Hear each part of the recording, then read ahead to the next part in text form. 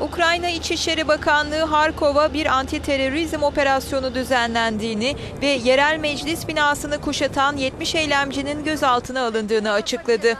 Ülkenin doğusundaki Harkov, Luhansk ve Donetsk şehirlerinde Kremlin yanlısı gösteriler patlak vermiş durumda. Donetsk'teki yerel yönetim binası ise halen göstericilerin elinde. Binayı işgal eden ve çevresini barikatlarla kuşatan Rusya yanlısı eylemciler, Ukrayna'dan ayrılmaya karar verilmesi için referanduma gidilmesini istiyor.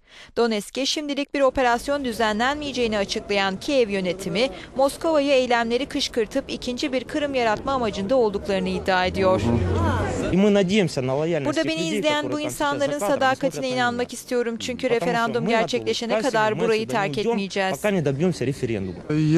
Umarım sonunda birlik içinde bir Ukrayna olur ancak federal eyaletler şeklinde. Rus Dışişleri Bakanlığı Kiev hükümetini gösterileri bastırmak için askeri güç kullanmaktan vazgeçmeye çağırdı ve ekledi. Bu bir iç savaşa sebep olabilir.